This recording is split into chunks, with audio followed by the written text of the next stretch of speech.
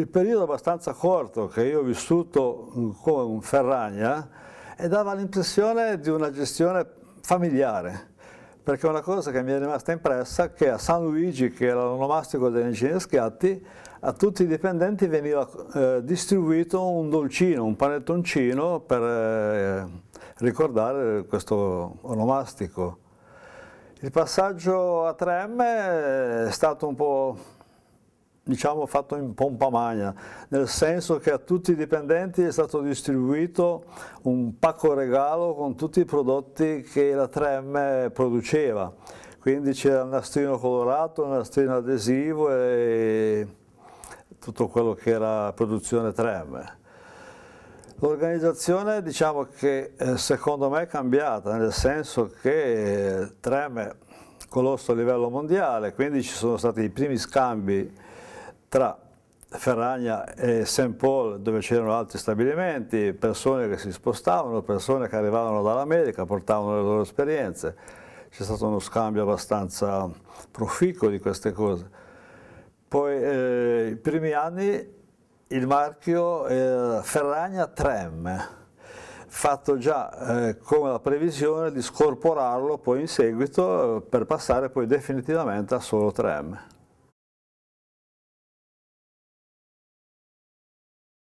L'infermeria era praticamente completa di tutto perché c'erano a tempo pieno praticamente due medici, gli infermieri. io mi ricordo che avevo avuto dei problemi di salute e dovevo fare delle punture e ne approfittavo perché gli infermieri nelle ore determinate facevano anche servizio di iniezione. No? Addirittura se uno aveva bisogno di lastre radiografiche le faceva direttamente. Diciamo che invece negli ultimi anni è stato ancora di più ampliato perché addirittura all'interno dello stabilimento facevano gli esami del sangue. Perché? Per normativa chi era soggetto a lavorazioni pericolose o nocive doveva periodicamente essere controllato dal punto di vista.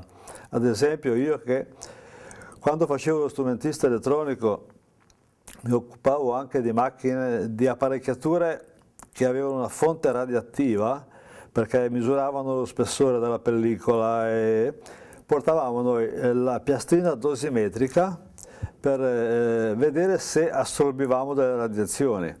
Quindi la normativa prevedeva che ogni sei mesi facessimo sia la visita medica che gli esami del sangue. La maggior parte di queste apparecchiature erano eh, termoregolatori, regolatori di temperatura, perché i prodotti che eh, Trem usava per la fabbricazione della pellicola erano diversi, eh, venivano a seconda di quale tipo di prodotto chimico veniva usato, veniva rifuso se era già stato fabbricato, quindi la temperatura era molto importante. Eh, prima di andare a finire nella caldaia di fabbricazione, i vari prodotti venivano scaldati a temperature diverse. Poi la temperatura era una cosa molto importante, ma come era importante anche la regolazione della temperatura e dell'umidità negli ambienti di lavoro. Andavamo parecchio nei laboratori. I laboratori usano un sacco di strumenti, dal pH-metro a tutto quello che poi al conduttivimetro e tutto quello che viene di seguito ed era compito nostro anche la manutenzione di questa strumentazione andavamo poi nel più complicato che addirittura era il misuratore di argento, del contenuto di argento nella pellicola. Eh, si, chiama, si chiamava Cristalloflex, era uno strumento a raggi X che andava a esplorare un campione e con un calcolo matematico che si faceva alla macchina ci dava la quantità di eh, contenuto di argento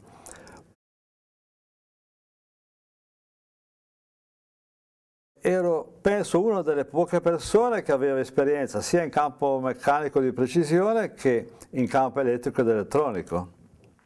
Eh, L'azienda ha fatto presto a prelevarmi perché in, negli anni 85-86 era nata la necessità della certificazione dei sistemi di qualità aziendali secondo una norma che è la norma ISO 9002 e Ferragna, anzi 3M, aveva necessità di spostare i propri prodotti sul mercato europeo e quindi aveva l'esigenza di avere il sistema di qualità certificato. Trem ha fatto una scelta diciamo abbastanza anche costosa perché questa calibrazione si poteva anche fare rivolgendosi agli istituti all'esterno dello stabilimento, i famosi centri SIT, Servizio Italiano Taratura. Però eh, la scelta che è stata fatta è quella di costruire all'interno dello stabilimento un laboratorio meteorologico. Andavamo in giro per lo stabilimento dove la strumentazione non era trasportabile, però la maggior parte veniva portata in eh, laboratorio. Così a grandi linee noi abbiamo dovuto fare un, un inventario di tutta la strumentazione presente in fabbrica suddividerla in gruppi in base alle esigenze che aveva chi la usava. Quindi il gruppo, eh, i gruppi erano due, il 2 e il 3. Il gruppo 2 era la calibrazione era a carico nostro del laboratorio. Il gruppo 3 era a carico dell'utente. Però il nostro laboratorio forniva la strumentazione di riferimento per farsi questa taratura noi gestivamo eh, praticamente all'anno qualcosa come 1500 strumenti. Quindi abbiamo dovuto provvedere a fare l'inventario. Con il database di, abbiamo diviso lo stabilimento per aree. In queste aree è stato nominato un responsabile di calibrazione ed era il nostro interlocutore diretto.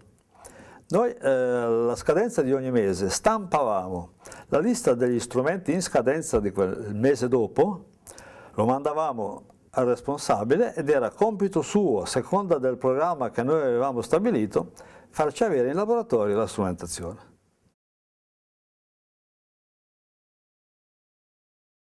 Certo, noi ci sentivamo, diciamo, anche un pochino privilegiati, sa quando?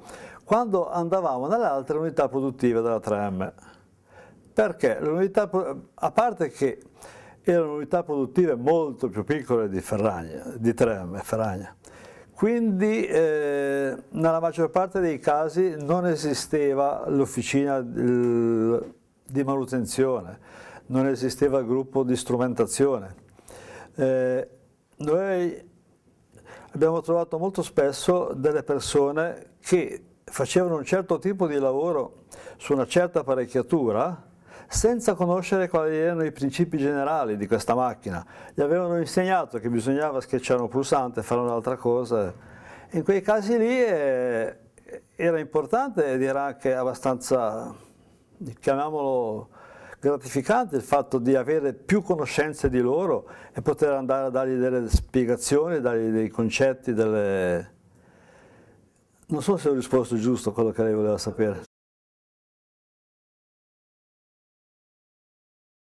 Io ci passo ogni tanto davanti a Ferragna. La cosa che mi viene in mente, lo dico sinceramente, è il mio laboratorio. Io lo chiamo mio laboratorio perché ci ho vissuto dieci anni e mi ha dato tante soddisfazioni. Il fatto perché sia successo il tutto, secondo me, è anche vero. Il mercato della pellicola era già un mercato saturo e quindi un mercato in, in decadenza fino a quando poi finisce tutto, no? L'avvento del digitale, secondo me, ha dato il colpo di grazia a tutto. Quello che mi chiedo è, dico, con, con le costruzioni che c'erano, con, con, le apparecchiature che c'erano presenti all'interno, buttare via tutto e non farci più niente, secondo me è stata proprio una pugnalata, anche per chi ci ha vissuto 36 anni come ci ho vissuto io perché con un po' di buona volontà secondo me si poteva recuperare certe cose, certe tecnologie certe, e le strutture.